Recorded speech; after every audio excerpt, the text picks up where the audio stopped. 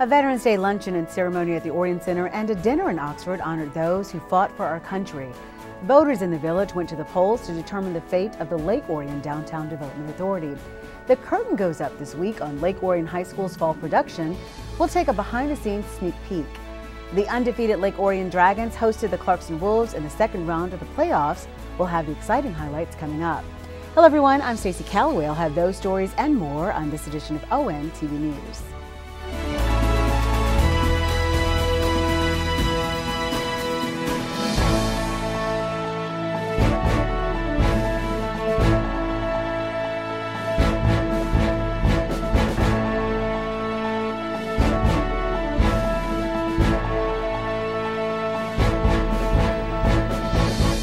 While Memorial Day is a somber day that honors those who gave their lives while defending our country, Veterans Day is designated as a day to honor the 20 million men and women who have served in the U.S. military. Here in the Orion area, local veterans were treated to meals and friendship during two special events. Although Veterans Day fell on Saturday, November 11th, the Orion Oxford area planned events on Friday, November 10th. Orion Township Parks and Recreation invited veterans to come to the Orion Center for a Veterans Day lunch. Uh, thanks to our sponsors, we had um, a lot of help from them United Healthcare, Seniors Helping Seniors, HAP, and Dort Financial Credit Union. Um, they off, with their help, we were able to offer them a free lunch. So they're having a full uh, barbecue chicken, macaroni and cheese, coleslaw, bread, and then dessert, of course. Gotta have the sweets. And then um, they're gonna get a goodie bag full of awesome things from um, sponsors as well, and then the presentation at the end. Now in its fourth year, approximately 65 veterans and family members enjoyed a nice lunch and had a chance to win raffle prizes. And for the first time, Orion Township partnered with the Orion Veterans Memorial to hold a ceremony honoring veterans. Board member and Navy veteran Lee Smith welcomed those in attendance and encouraged them to stand when they heard the military branch song.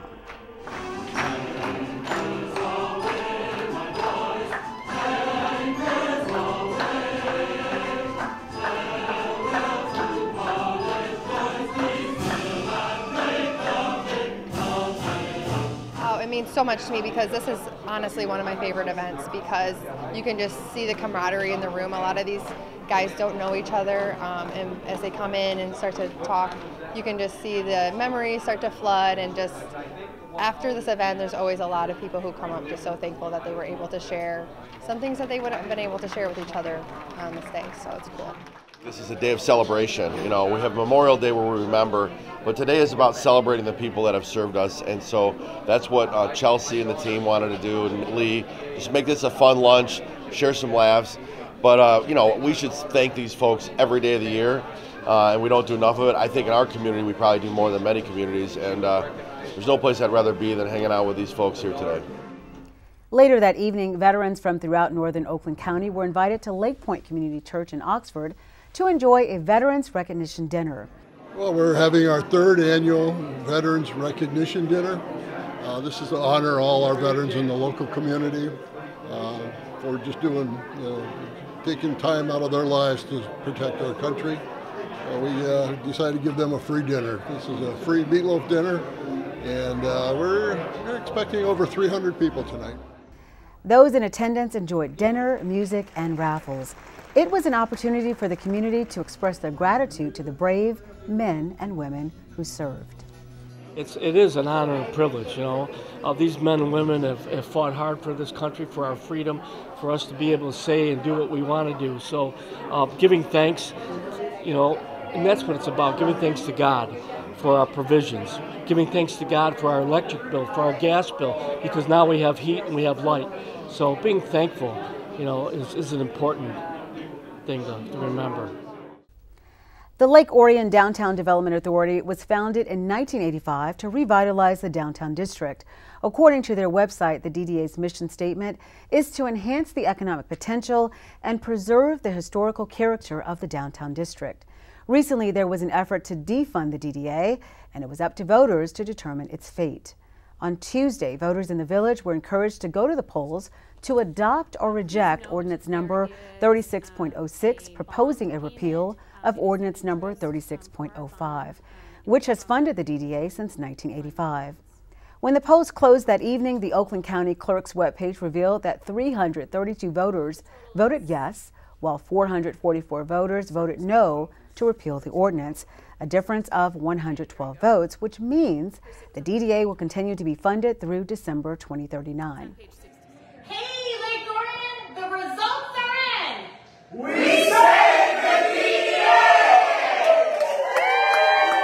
It was almost a thousand voters. Actually, for one issue, that was a huge turnout. huge turnout. Um, and I am so glad that the voters have spoken and that the DDA is still valuable to the community. Um, I am so glad that the DDA board can now continue to make decisions that are for the benefit of the community and they can stop worrying about whether or not, uh, you know, something's going to happen to our funding. So I'm very happy about that. Um, and thank you, everybody who came out and voted. I know this was one issue, and normally, you know, whether you voted or not, it wouldn't necessarily be something you definitely do. So I appreciate everybody who came out and made a point of stating what their opinion was. Once the process began of placing the issue on the ballot, representatives of the DDA or Village Council were not allowed to persuade voters to vote one way or the other, so a committee was formed called Save the Lake Orion DDA. The committee began an informational campaign to educate residents on how the DDA is funded and how it serves the community. Social media played a huge role in that campaign. Part of the challenge is that the executive director of the DDA, Molly LaLonde herself, and the DDA board, and even majority of the village council, just could not really speak on the issue. And we also understood that, you know, the public they hear the term DDA, maybe they even know that that stands for Downtown Development Authority, but a lot of people don't understand the difference even sometimes between that and maybe like what a Chamber of Commerce is. So level one was trying to explain that, but then also what was at stake here was the funding process, how the DDA gets funded. And that is a very, very, very complex issue. And thus, we knew it was going to take a pretty significant educational campaign to help inform the voters. Now that the election has passed, the DDA can move forward with their upcoming holiday events.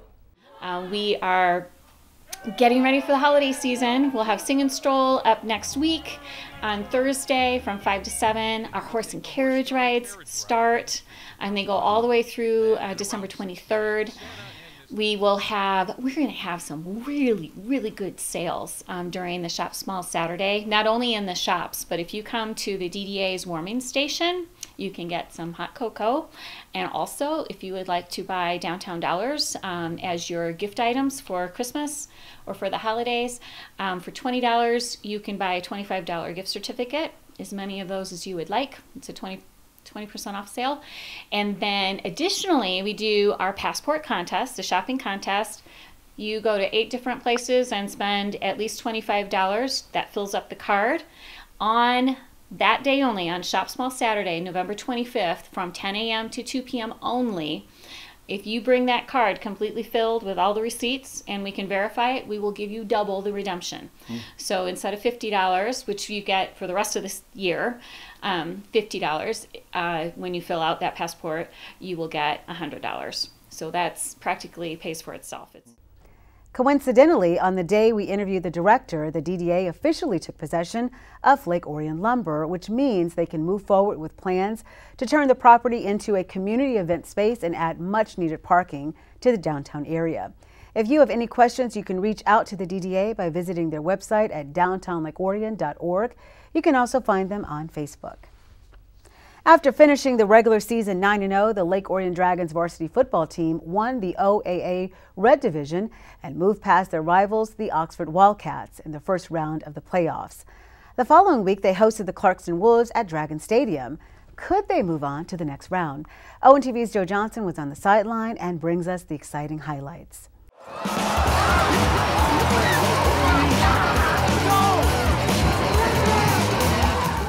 On the evening of Friday, November 3rd, the Lake Orion Dragons hosted the Clarkston Wolves for the Division One district title. The Dragons beat the Wolves earlier in the season 42-21 to claim the OAA Red Division title. Could they do it again in the playoffs? On Lake Orion's first drive of the game, the Dragons have a second and two on the 28. Quarterback T.R. Hill is in shotgun. He hands off to Billy Robertson, who goes 20 yards before fumbling at midfield. It's recovered by sophomore Lucas Bowman, and the Wolves begin their drive on their own 45.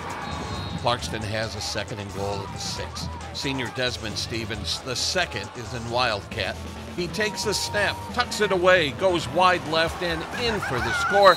The Eddie Langton PAT was good, and the Wolves strike first, 7 0 with 5.30 left in the first. Following the score, Clarkston kicks off. Ray Payne fields it at the five and finds a lane. He returns it all the way to the 46 yard line. Then on third and four at the 50, Hill is in shotgun. He hits Dominic Novak in the flat and he breaks a tackle. He's taken down on the Wolves 20. On second and 12 from the 20, Hill is in shotgun. He keeps it, shakes a tackle, and reaches the five yard line. On second and goal from the two, Hill hands off to Billy Robertson, who plunges into the end zone. The Hoffman PAT was good, and the Dragons tie things up at seven apiece with two minutes left in the first. During the ensuing Clarkston drive, the Wolves are facing a fourth and 11 on the Dragons 32 and decide to go for it. Sophomore quarterback Brady Collins is in shotgun. He takes the snap and he's picked off at the 18th by Jackson Vasquez on third and one on the Dragons 38. Hill hands off to Billy Robertson, who finds a hole with Ray Payne leading the way. Robertson is knocked out of bounds at the five yard line for a gain of 57 yards. Then on second and goal at the five, Hill keeps it, goes up the middle, and just reaches over the goal line for the TD. The PAT was good. Lake Orion 14, Clarkston 7, and that's how the first half would end. Both teams kicked a field goal in the third quarter to make the score 17 10. Let's go to the fourth quarter and hold on to your hats, folks. Clarkston is facing a third and six on the Dragons 23. Collins is in shotgun. Stevens goes in motion. Collins fakes the handoff, keeps it, and races untouched to the end zone for the TD. The PAT was good, and the score is tied up at 17 apiece with under nine minutes left in the game. Following the kickoff, the Dragons begin to drive on their own 33. On first and 10 on the Wolves 33, Hill is in shotgun. He hands off to Robertson, who goes up the middle and breaks loose 33 yards into the end zone. The PAT was good, and the Dragons regain the lead 24 17 with 6.44 remaining. Clarkston begins their next drive on the 20. On first and 10, Collins fields the low snap, and he's picked off by Andrew Parker, who returns it to the house. A pick six. Following the PAT, the Dragons are up by 14 with 6.36 left in the game.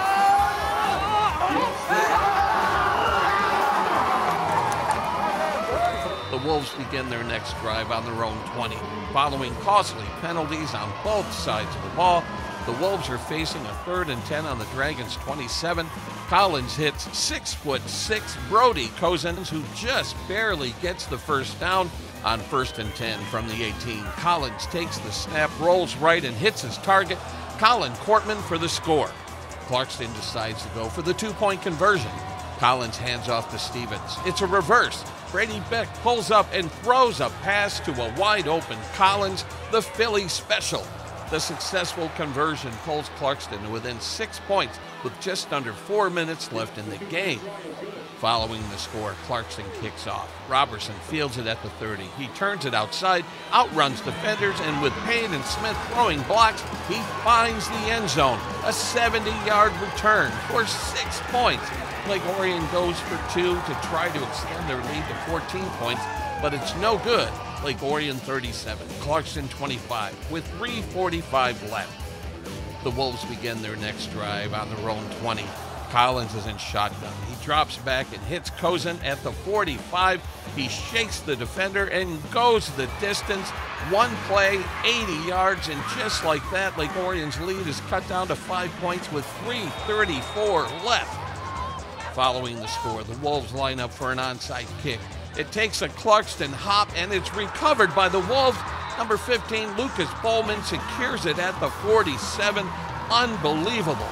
With Clarkston facing a fourth and 16 on their own 48, Dragons defense can end it here. Collins is in shotgun. The Dragons apply pressure. He's hit as he throws, but it's caught. Desmond Stevens at the 30 for the first down. Then, with under two minutes left in the game, the Wolves are facing another fourth and long, fourth and 22 to be exact, on Lake Orion's 41. Collins takes the snap, goes deep, and the big man, Kozin, pulls it down at the 10 to keep the drive alive. On second and goal from the six with under a minute left, Collins hands off to Griffin Bowman. He lunges forward and he's in the end zone for the score. The two point conversion was no good, but the Wolves are on top 38 37. The Dragons have 48 seconds and no timeouts to try to get into field goal range. The Dragons begin the drive on their own 35. On first and 10 on Clarkston's 44, Hill takes the snap, rolls left. He's hit as he throws, and he's picked off at the 40 by Griffin Bowman. Game over. The final Clarkston 38, Lake Orion 37. What a game! With the win, Clarkston claims the Division One district title and celebrates on the field. The Wolves advance to face the West Bloomfield Lakers on November 10th. Kickoff is at 7 p.m. From Dragon Stadium, this is Joe Johnson reporting for ON TV News. Thanks, Joe. What a heartbreaking loss. Thanks again to the players and coaches for such a memorable season. Lake Orion High School's Thespian Troupe 2898 has been hard at work preparing for this year's fall production, which is based on a popular board game featuring colorful characters like Colonel Mustard, Professor Plum, and Mrs. Peacock. ONTV's Bethany Berger visited a recent dress rehearsal and gives us this behind the scenes look at the production. On Friday, November 10th, students involved with the Lake Orion High School Thespian Troupe 2898 wrapped up Tech Week for their upcoming play, Clue. Clue is based on the movie that was made in the 80s with Tim Curry. Wildly popular. It's a murder mystery following the, the six characters you can play as in the game and uh, all the other people that they come to interact with during the show. And they come to find out very quickly that things are not what they appear, and they go on this crazy goose chase through the house trying to find who did it, who done it. a lot of moving parts and um, keeps you on your toes. Oh, it's a really complicated show from a technical standpoint. We have sets constantly in and out on the stage. The kids are doing a lot of really cool things with sound and with lights to create a really engaging show. And then from an actor standpoint, our actors are so talented.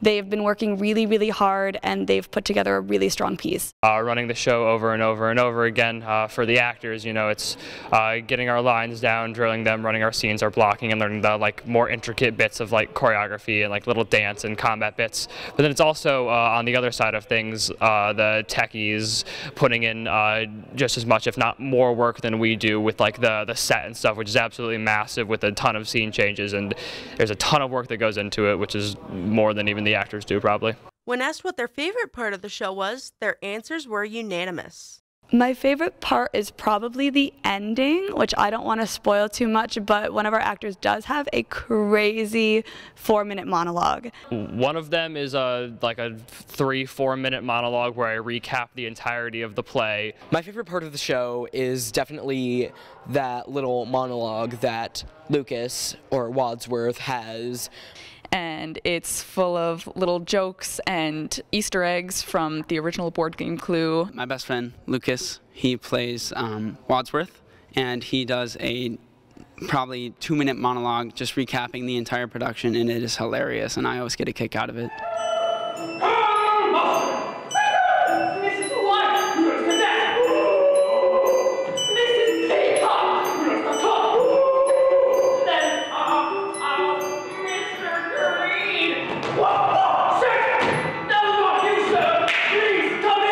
So fun being able to hang out with them every day and work with them and really bring this show to life with them because you can see how much it means to all of them. We have a lot of consolidated talent here, especially on stage. Our actors are phenomenal. Our crew, we have so many talented individuals, especially our underclassmen.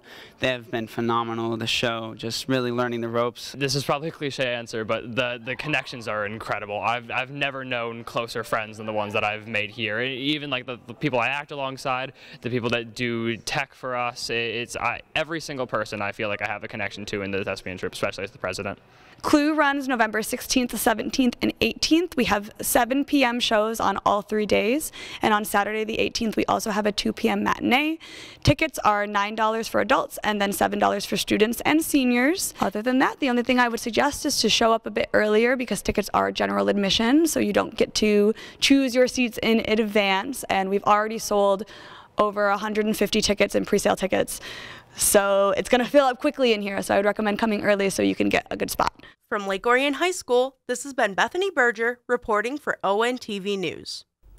Thanks, Bethany. It looks like a lot of fun. There can never be too many coffee shops in Lake Orion, but one new business has the advantage of catering to cat lovers as well as coffee lovers. On Thursday, November 2nd, representatives of the Chamber of Commerce and Orion Township dignitaries gathered at Black Cat Beanery on Lapeer Road to celebrate their official grand opening with a ribbon cutting ceremony. One, two, three. Black Cat Beanery! Woo! All right, good job, good job. You know, totally honest, I knew I wanted to be in this general area, but in talking to the um, municipal authorities and zoning boards, it was clear that the, the Orion Township Board was the most interested in bringing in new business. They, they were excited, they were engaged, they answered my questions, they were great. And I'm like, this is where we should be because if we get this kind of support, this is where we want to do business. Owners signed the lease in July, started interior construction in September, and opened their doors in October. The price of admission gets you at least an hour with the cats, fresh coffee, and a baked treat. Visitors are encouraged to make an appointment since capacity is limited to 15 visitors at one time, but walk-ins are welcome if there's room. And who knows, you might take home a new family member. It is a cat cafe, so it's a place that you can come have a cup of coffee, of course, have fresh baked pastry, which is included in your entry fee, but most importantly, hang out with the cats. And if you just want to see them and play with them, that's fine. If you want to adopt a cat, uh, you can adopt a cat. Everyone here is adoptable, and uh, all the money that we get from adoption fees passes through to our rescue to help save more cats. For more information or to book your visit, go to blackcatbeanery.com. You can also find them on Facebook. And finally, we here at ONTV were saddened to learn about the passing of former Lake Orion High School principal Steve Hawley. Principal Hawley was hired during the summer of 2012 and served for 10 years before stepping down in 2022 due to health issues. After a lifetime of dedication to the field of education, he passed away on November 10th, having a profound impact on students, staff, and the community. The principal made an appearance at the class of 2022's commencement ceremony. Our senior class before us today is without a doubt spent a good part of their high school careers navigating some of the greatest challenges we have ever seen in education. Yet, despite the successful effort to overcome these challenges, as we all know, when you leave here today with your diploma in hand, life will continue to present challenges for each of you to overcome. Many years ago, during a family trip out west, I was reminded again that each and every one of us will need to continually work to navigate our lives. You see, on my trip, I had the opportunity to participate in a whitewater rafting experience. While listening intently to our guide that day as he prepared us for the adventure to come, he explained four important guidelines that were designed to ensure a safe and successful outing on the river. Interestingly, I still carry these four principles with me today as they have helped to lead me in times of trouble. First, our guide shared with us that we must be aware of the fact that at some point on this journey, you will exit the raft. When traveling down a turbulent river, this was easy to understand. However, I contend that all of us have experienced something relatable in our own lives. Next, the guide explained that once we entered the water, it was essential for us to be active participants in our own rescue. He said, Don't wait for someone to save you, you must advocate for yourself. The guide then explained that we should never let go of our paddles as they provide the opportunity, the very important opportunity, to reach for assistance when you are unable to get back to the raft. And finally, the guide shared with us that while traveling down the rapids, we will encounter many rocks and obstacles. He told us that at these times, we must all point positive or direct ourselves away from harm and toward the direction that we desire to go. In my opinion, the last two years have felt a lot like traversing down a turbulent river. And these four simple lessons can be meaningful for each of us as we navigate our own lives. We here at ONTV would like to express our condolences to the family, friends, and colleagues of Stephen Hawley. He will be missed. And on that note, we'll wrap up this edition of ONTV News. On behalf of the hardworking ONTV News team, I'm Stacy Calloway. Thanks for watching.